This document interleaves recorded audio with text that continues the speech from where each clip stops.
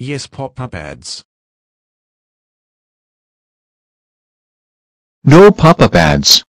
Those windows appear suddenly which can lead to scams and hoaxes which can be very annoying. That's it. You're extremely grounded. Go to your room right now. Bye.